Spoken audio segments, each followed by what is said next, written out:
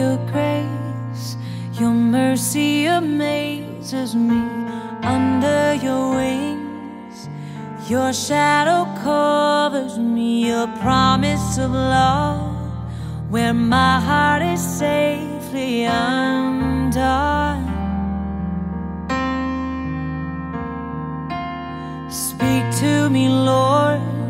Your servant is listening over the noise.